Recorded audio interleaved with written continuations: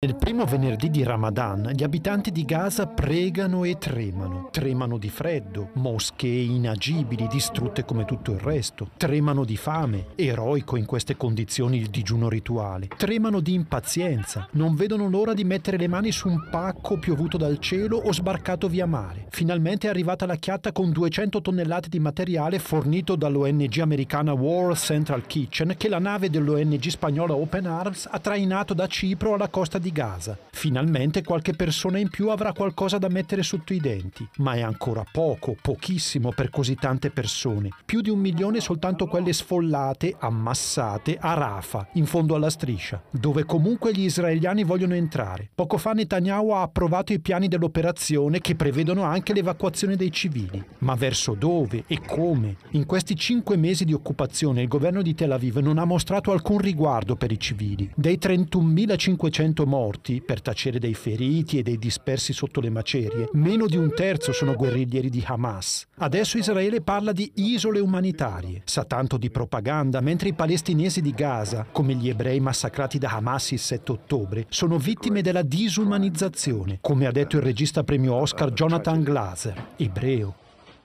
Nel mese di Ramadan arriva l'appello alla pace da parte del Dicastero Vaticano per il dialogo interreligioso. Paolo Fucili.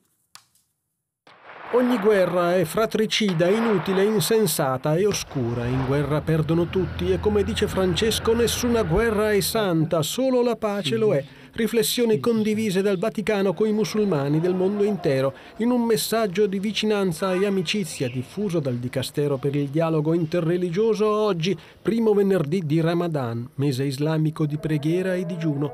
Guardiamo all'Onnipotente come al Dio fonte della pace. Uniamoci, è scritto, musulmani e cristiani, per spegnere il fuoco dell'odio e della violenza e accendere la dolce candela della pace, perché il numero di guerre nel mondo, inclusi gli scontri che coinvolgono anche organizzazioni criminali, bandi armate e i civili è diventato davvero allarmante. Fra le cause principali sicuramente ci sono la produzione e il commercio di armi, ma ricavarne profitti è come intingere il pane nel sangue del fratello, come lo descrive Papa Bergoglio. Il Ramadan finirà con la prossima luna nuova il 10 aprile, celebrando in famiglia e in comunità la solenne festa di Id al-Fitr. Possano il digiuno e le altre pie pratiche di questo mese portarvi abbondanti frutti di pace, speranza e gioia, conclude il messaggio